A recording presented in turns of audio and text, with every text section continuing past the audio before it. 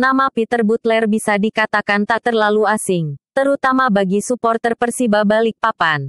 Dalam dua periode yakni 2006 sampai 2008 dan 2012, pelatih asal Inggris ini dipercaya menangani beruang madu.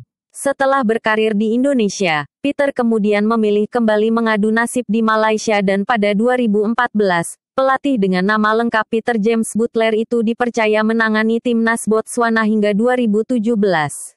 Setelah kontraknya tak diperpanjang, Peter kemudian pergi ke Afrika Selatan dan menerima pekerjaan di klub Platinum Stars FC. Tapi kariernya di negara kelahiran Nelson Mandela itu sangat singkat. Baru dua pertandingan memimpin Platinum Stars, Peter langsung dipecat. Kenyataan pahit itu harus diterima Peter pada awal September 2017 setelah Platinum Stars menelan dua kali kekalahan di awal musim masing-masing dengan skor 0-2 dari Maritzburg United dan 1-3 dari Cape Town City di kompetisi Premier Soccer League musim 2017 per 2018. Pemecatan Peter oleh Platinum Stars berbuntut panjang.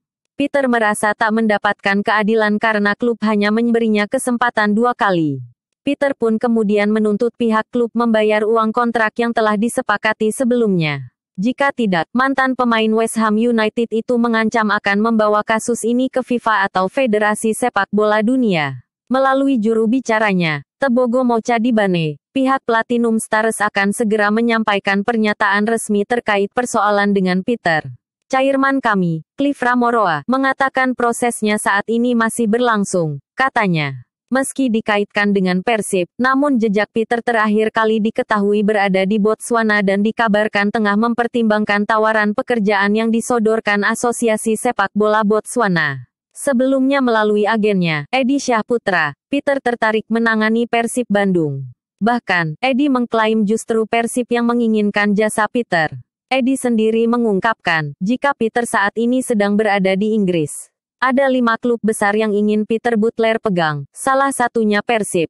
Saat ini dia masih ada di Inggris dan kalau sudah ada tim yang serius menginginkannya, dia akan ke Indonesia.